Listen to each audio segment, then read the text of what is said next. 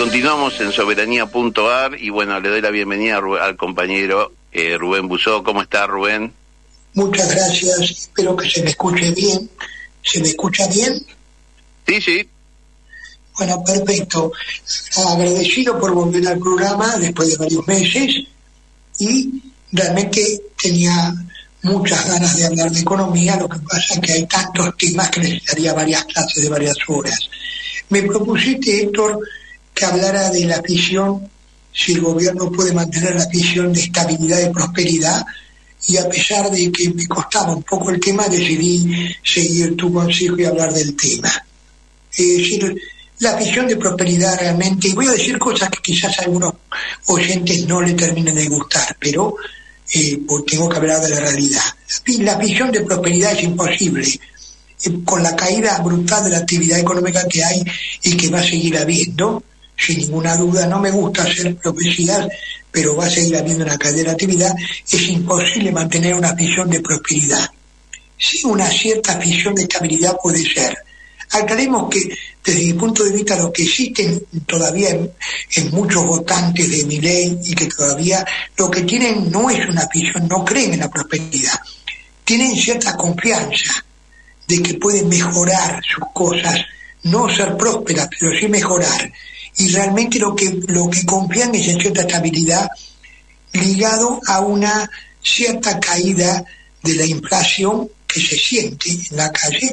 Es cierto, la inflación brutal con la que arrancó este gobierno, lógicamente, con una, con una devaluación tan grande y con una liberación de precios, está bajando un poco y es posible que baje. Lo que sí, no hay duda es que, desde mi punto de vista, el gobierno va a mantener controladas ciertas variables financieras, sobre todo que es muy importante para la realidad, eh, para la sensación económica argentina, que es el valor del dólar. Y desde mi punto de vista, ya claro que no quiero hacer eh, profecías, porque en enero dije públicamente, y esto va como todo crítica, de que el gobierno se iba a ver obligado a hacer una nueva devaluación a fines de marzo principios de abril. Hasta me animé a hablar de cifras y dije que iba a estar entre un 20 y un 25%. Si hubiese puesto las manos en el fuego estaría en el distrito de quemado, porque evidentemente el gobierno consiguió y sigue consiguiendo evitar la devaluación, porque está logrando con la calma cambiaria, lo que está buscando, es un ancla en la estabilidad de precios, es decir, en la inflación. Un ancla que ya se aplicó muchas veces en Argentina, se aplicó en el plan Austral, se aplicó en el plan Caballo, que terminaron muy mal, realmente. Pero es evidente que el gobierno puede lograr mantener las variables financieras en orden, sobre todo que desde mi punto de vista porque Massa, que era el real gobernante con el gobierno anterior, pavimentó en los primeros meses la tranquilidad cambiaria y financiera, con distintos tipos de medidas. Es decir, porque evidentemente creía que pensaba ser presidente, yo también pensaba lo mismo, para que voy a negarlo, o por lo menos esperaba lo mismo. Es decir, entonces planificó alguna entrada de, alguna entrada de dólares eh, con manteniendo un, un dólar eh, especial para ciertos exportadores, es decir, ya había habido una devaluación real por, desde que cayó, desde que ganó Milei en, en las pasos, y planificó con algunos grandes inversores que vendieran dólares. Debo aclarar que el dólar en Argentina, que es un tema muy especial, yo lo llamo dólar lechuga, porque eh, parece una lechuga, verde como la lechuga. La lechuga, cuando por razones climáticas y de temporada no existe, no hay, no tiene precio, se sube a precio astronómico. Cuando después aparece la lechuga, el precio cae. Lo mismo en cierto sentido pasa con el dólar. Cuando las expectativas de una devaluación son muy altas o un sector, porque hay sectores en Argentina, un sector muy informado, que son los reguladores, saben que va a haber una devaluación, y si salen a comprar dólares y hay una demanda muy alta. Por lo tanto, el dólar puede llegar a no tener precio si hay problemas políticos. Después cuando esos mismos sectores, es decir, que están más informados, salen a vender, porque les conviene ya, en la práctica arrastran a ciertos sectores de chiquitaje que se llama, los sectores, sectores de clase media baja y sectores de clase media alta, que salen a vender también y el dólar baja. Hay que recordar que en la política argentina algunos planes de estabilidad llegaron a mantener el valor del dólar porque no lo querían dejar bajar. Pasó con el plan Surril, pasó con Caballo en los primeros tiempos, antes del plan de convertibilidad, pasó con Onganía, que tiene algunos, algunos parecidos con el plan Bracena, y pasó con Martínez de Oz, incluso, pero en menor cantidad por otros motivos. Es decir, en la práctica no todos están perdiendo plata con las variables financieras. Recordemos una cosa, si yo tengo, cayó mucho la tasa de interés manejada por el, por el gobierno. Ahora, recordemos que si yo tengo una tasa de interés del 4, del 5, del 6% y mantengo el dólar bajo y sin, sin cambios, como la práctica se mantuvo, el dólar, los dólares financieros no han aumentado en los últimos cuatro meses, incluso han bajado un poco. Los que supusieron eso o sabían que iba a pasar eso, una tasa de interés del 3% mensual, que parece bajísima en la Argentina, significa un 3% en dólares. Y es lo que está ocurriendo con muchos grandes inversores. Están ganando mucho dinero con la tranquilidad financiera. Pero, aparte, hay presiones entre ellos. No todos tienen los mismos intereses. Y tengo que hablar con nombre y apellido. El gran la gran empresa argentina que aparte tiene un gran manejo en este gobierno es Techin, es la gran empresa argentina, es una empresa multinacional que tiene el Ministerio de Trabajo, tiene IPF y aparte, es decir, tiene mucha influencia en este gobierno. La otra multinacional, que es Arcor, aparentemente Arcor no le molesta la calidad de actividad, no está hablando Arcor, pero Arcor es una multinacional de golosinas que está muy expandida en América Latina. Y en América Latina está vendiendo bien. O sea, que se caiga, a mi entender, que se le caiga la actividad en la Argentina no le preocupa demasiado, sí le preocupa. Después hay otras grandes empresas de Argentina, por ejemplo, Mercado Pago, que también, a mi entender, de una manera distinta, depende del mercado interno. O sea, que la calidad de la actividad sí le molestaría. Ahora, ¿qué maneja la Unión Industrial? Y Techín está dedicada al tema extractivismo, sobre todo de vaca, muerta. Y aparte mantiene la, mantiene la, el, el del norte, lo, mantiene, lo, está, lo está construyendo ella. O sea que todo el peso de Techín, muy importante en la Argentina, está dedicado al tema de vaca muerta, al tema del gasoducto y evidentemente a la exportación de productos eh, eh, de los hidrocarburos. En la práctica, otras empresas grandes que sí se dedican al mercado interno están sufriendo y van a sufrir mucho. Hay algunas que me imagino, no tengo información confidencial, están haciendo tareas financieras, o sea que están haciendo algo parecido a lo que pasaba con Martínez de Oz. Yo supongo eso.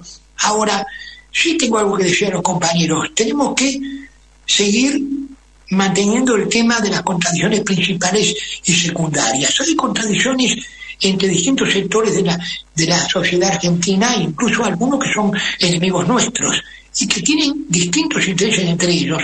Nosotros tenemos que fomentar esas, contradicciones, incluso fomentar las contradicciones de los sectores institucionales.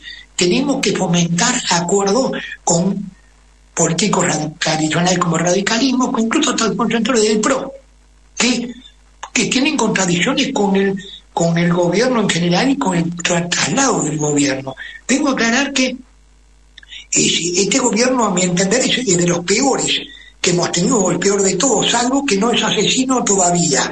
Nos mata de a poquito como está matando a los jubilados. Ahora, tengamos claro una cosa, para que los compañeros no se enojen conmigo, que estoy proponiendo nada, tenemos que aguantar. No, propongo algo teológico. Digamos que, creo que, disculpen que los dioses me perdonen, creo que hay una famosa frase de Lenin que dice que no hay una situación absolutamente sin salida porque no existen las situaciones salida políticamente hablando. Y tiene razón Lenin. Y, y hablando de contradicciones primarias y secundarias, que Dios, los dioses me perdonen, es, una, es un desarrollo maoísta también. Es decir, tenemos una contradicción y un enemigo principal que es el gobierno. Y entonces, ¿qué nos queda por hacer? A mi entender, a mi entender algo teológico. Necesitamos paciencia y perseverancia. Paciencia porque las cosas no son tan fáciles como podemos pensar. Esto no tenemos a corto plazo un cordobazo como lo pasó en Ganía en la década de 60, muy parecido a Ganía algunas cosas con este, con este gobernante, porque el cordobazo se fue se fue armando lentamente durante dos o tres años de la política muy pro-yanqui de crisis básica. Ahora no tenemos un cordobazo a corto plazo sin ninguna duda, pero sí tenemos posibilidades de ir desgastando este gobierno. Todas las luchas, todas las contradicciones que existen, aunque sean muy pequeñas, desgastan este gobierno. Y el gobierno se está desgastando, por más que tenga las variables financieras bajo control, y es posible que las tenga todavía durante un corto plazo. O sea que no veo yo una crisis financiera que son las que arrastraron en las últimas décadas las, las crisis de los gobiernos, lo que le pasó le pasó a, incluso a la dictadura militar. Su, decadencia comenzó con la crisis bancaria del BIR que arrastró 70, después vino la guerra Malvinas. Le pasó a, Alfonsín con una corrida con una corrida cambiaria que arrastró una hiperinflación. Le pasó a De la Rúa con una corrida bancaria, la caída de la convertibilidad que arrastró su renuncia. Yo no veo una corrida cambiaria y bancaria a corto plazo. Sí veo una crueldad muy grande a los sectores más pobres de la población. O sea que lo que cabe es con paciencia y perseverancia seguir resistiendo. Ahora, no esperemos a corto plazo, por lo menos en mi opinión, y me animo a hacer profecías, espero no quemarme, no esperemos a corto plazo una crisis. No creo que haya una crisis cambiaria, no creo que haya una crisis bancaria, creo que los grandes sectores que lo apoyan están ayudando a que se mantenga una cierta estabilidad bancaria y financiera. Es probable que la inflación baje un poco, pero la actividad es imposible que con este, este plan económico, que no es, un, no es un programa, es un plan económico de ajuste, es imposible que la actividad aumente. Hay una... eh, disculpame, estamos yendo ya para la tanda. Lo único que te quería decir, compartir con vos, además de tu erudición, que nos ha llevado a través de todas las épocas y has explicado con eh, gran fundamento eh, por qué estos planes eh, a los dos o tres años en general se, se caen. Yo lo veo así, mira, vos tenés una bañadera, los tipos te dicen, bueno, vamos a cerrar los grifos para que no se derrame, para que no se, se vaya el agua, pero ellos dejan abierto el tapón, en el tapón, el tapón está la especulación financiera, las maniobras de, este, de los agropecuarios, las empresas eh, mineras que se llevan plata, es decir, que el agua sigue perdiendo por ese tapón que se salió, por el agujero del fondo, entonces los tipos dicen, bueno, a ver, se bajó el agua, la pasó a un tacho, y la pasas a un tacho, y el agua del tacho parece estabilizada, ¿viste? Pero tiene un agujero el tacho, y ese tacho, es de vuelta lo mismo, el comercio exterior, la falta de, de agregado de valor agregado, las exportaciones, las fluctuaciones del mercado, y entonces eso que parecía estabilidad se vacía. No sé si vos ves más o menos algo así con este tipo de programas. Mira, sí, me, me, gustó mucho, lo voy a, te, lo, te lo voy a copiar para otras oportunidades que hable, el tema de la gran de la mañana y que se vaya. Me gustó mucho la, la, la similitud que hiciste. Sí, digamos que yo es decir, creo que lo que no estamos ansiosos nosotros porque somos opositores y porque aparte estamos sufriendo y aparte odiando cierto tipo de programa. desde el punto de vista económico, como economista yo podría decir que no hay un programa serio económico. Lo que hay es un programa de ciertos ajustes con ciertos ciertos acuerdos con algunos sectores que están ganando dinero, que parezca mentira, y tratando de mantener a otros sectores. Este programa económico, si podemos llamarlo el programa, está una cosa, es decir, en mi opinión, Surril tenía un gran programa económico, Caballo tenía un programa económico, el Marqués de tenía un programa económico y Kirchner Bacena también tenía un programa económico. Este gobierno no tiene, en mi opinión, un verdadero plan económico serio de estabilidad.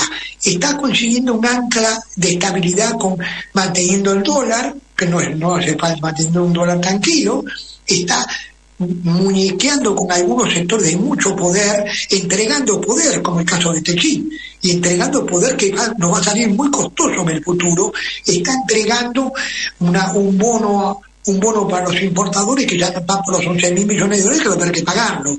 Está entregando de alguna manera, buscando la manera de no de no cobrar impuestos porque mantiene las retenciones, no aumentó las retenciones para que los agropecuarios sigan liquidando, que va a tener contradicciones. Vamos a tener que, que apoyar en algún momento las contradicciones del sector agropecuario en contra del gobierno, que va a haber contradicciones. Ahora, es posible que esto sea lento, Ahora es posible que la bañadera que vos dijiste siga prendiendo agua. En algún momento se va a hacer la bañadera. Es decir, porque en la práctica estos programas sí me animo a dar pronósticos, están destinados al fracaso.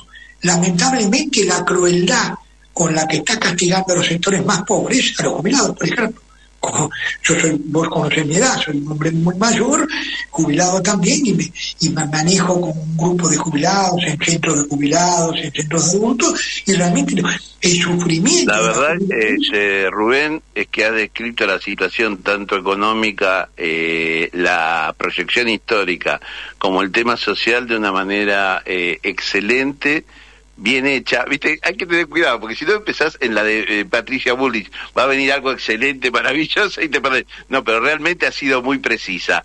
Vamos una tanda y después seguimos con Javier. Muchas gracias.